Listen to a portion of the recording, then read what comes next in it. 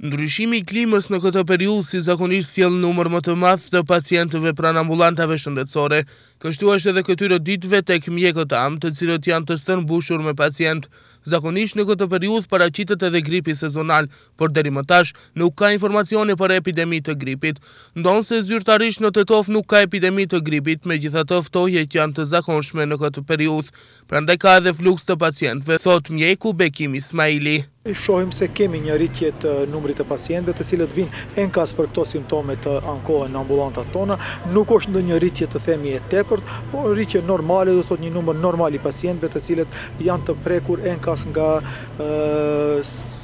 virozat sezonale që vijnë të kërkojnë ndihmë në ambullantat tona. Nuk kam dëgjuar se këtu barem së paktën ku jam unë, ku gravitoj, po edhe kolegët tjerë, të cilët jemi të obliguar të bëjmë paraqitjen e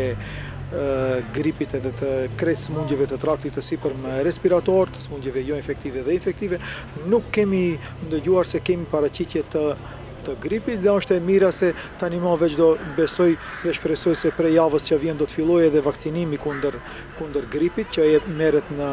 në qendrën për shëndet publik. Kështu që mirë pacientët të dinë, të jenë të informuar se javën e ardhshme fillon, që me kohë të vijnë te mjekët e tyre amë ata të cilët janë mbi moshën gjashtëdhjetë e pesë vjeçare, fëmijët, gratë shtatzana të cilët janë të liruar nga pagesa e kësaj vakcine dhe të tjerët të cilët gjithashtu e marrin këtë vakcinë, të cilët paguajnë një pjesë të mjeteve, mund të shkojnë në Qendrën për Shëndet Publik të bëjnë aplikimin dhe marrjen e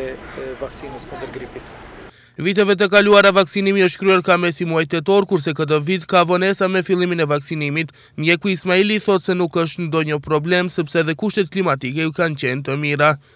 Tash në shtete të ndryshme aplikimi bëhet në periudha të ndryshme. Të themi në Slloveni tani më ka përfunduar, po te ne ndoshta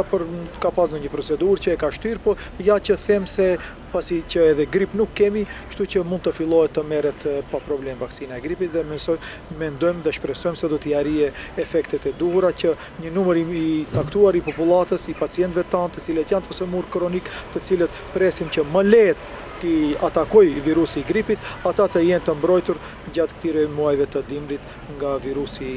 i gripit, nga virusi sezonal i cili shpresojmë të na vijë. Ky vaksinim bëhet qëllimisht tash në këtë periudhë, pasi që organizmit i duhet më së paku dy javë që të fitojë imunitet pas marrjes së vaksinës. Kjo vaksinë rekomandohet që të merret nga ana e grupeve më të rrezikuara në periudhën e ardhshme, siç janë të moshuarit, të cilët vuajnë nga sëmundjet kronike, fëmijët e vegjël, të cilët kanë imunitet të dobët dhe gratë shtatzëna. Po ashtu rekomandohet që këtë vaksinë ta marrin edhe personat, të cilët kanë punë në ambient të hapur apo të ftohtë, thonë nga Qendra për Shëndet Publik.